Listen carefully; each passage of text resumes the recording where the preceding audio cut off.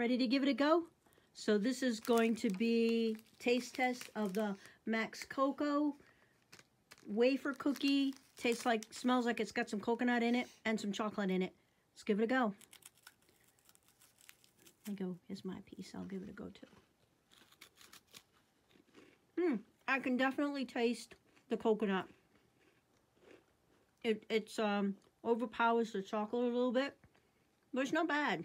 It's not bad at all. Mmm. You're a little iffy on it. Me, I'm good with it.